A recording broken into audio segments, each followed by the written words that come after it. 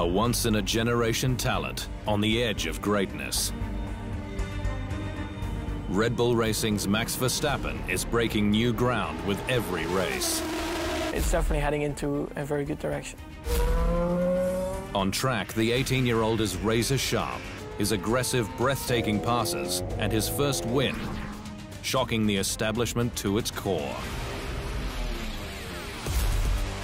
Setting himself up for a collision course with his teammate Daniel Ricciardo. Verstappen's destiny is clear. He's a Formula One world champion in the making. The only uncertainty is when.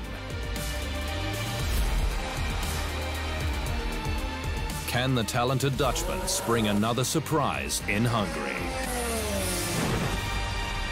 You're watching The Inside Line.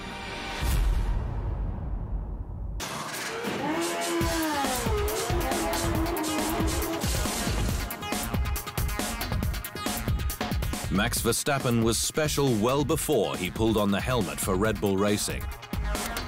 At Toro Rosso, he was immediately at ease, well before his race debut, calm as you like, driving a Formula One car in practice sessions at Suzuka, Austin, and Interlagos in 2014.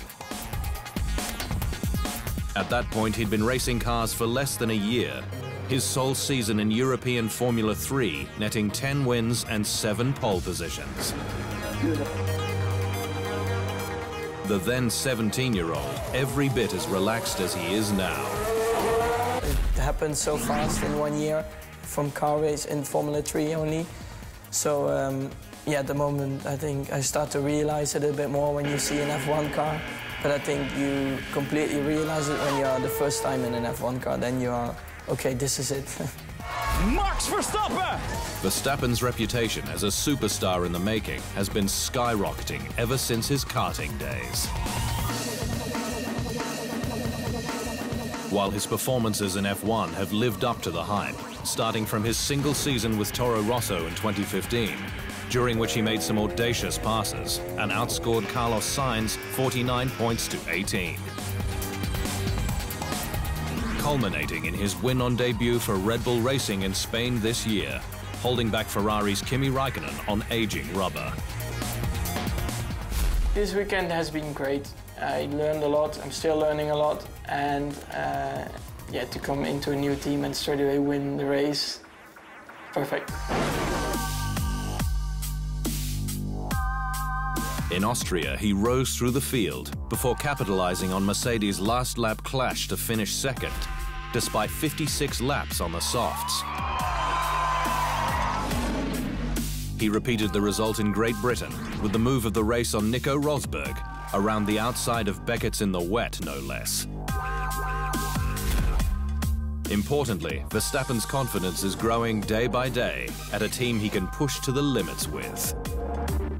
What for me changes just that I have a car that is capable of getting to podiums and victories, which uh, I didn't have before. And yeah, it's just a, a, very good environment, I would say, very relaxed. It's what I like, so they give you a lot of confidence, and that's, I think, very important.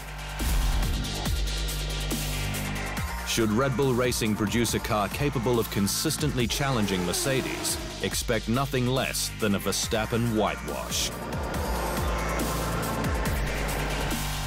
It could come as early as 2017, with Red Bull's design team, led by aero genius Adrian Newey, arguably one of the best in the business and very capable of making the most of the technical regulation shakeup.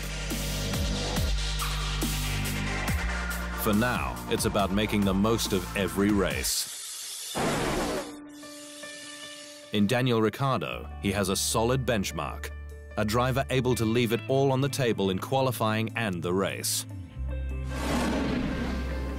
But Verstappen is already proving himself as top dog able to wring the neck of the car like all the greats. Despite all the expectations, he's not feeling overwhelmed. Well, I wouldn't say more pressure, to be honest. Of course, you're driving for a top team now, but at the end, you always try to do your best, and that's what I always try to do. Um, so for me, no, I don't feel more pressure. The sky's the limit for Verstappen. Sooner or later, he's going to become a Formula One world champion.